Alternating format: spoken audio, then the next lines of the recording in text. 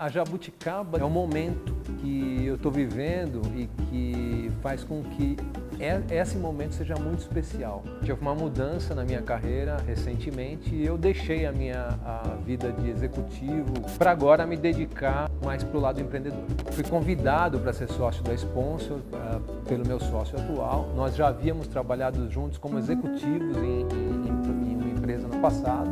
Isso faz diferença quando você vê alguém que você pode confiar, que você pode aprender com essa pessoa e tem um alinhamento do que você deseja, como você vê as coisas para o negócio. Para fazer essa mudança ah, de carreira, na verdade, não é algo que é, foi decidido de uma hora para outra. A questão é quando tomar essa decisão de fazer uma mudança de carreira. Eu vou dar exemplo de coisas que estão alinhadas para que a decisão seja tomada de maneira, digamos assim, consciente.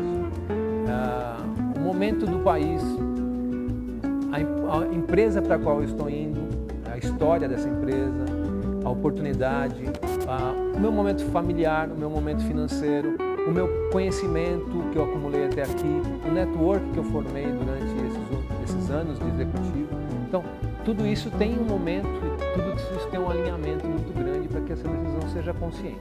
Eu costumo dizer que a gente tem sempre no nosso momento profissional que ter três pilares. Né? A felicidade, satisfação, uma motivação para estar tá fazendo o que a gente faz, ganhar dinheiro com o que a gente faz e a terceira coisa é o aprendizado. Eu acredito muito que hoje eu estou num momento, é, e esse momento é único, e onde essas três coisas estão, estão surgindo.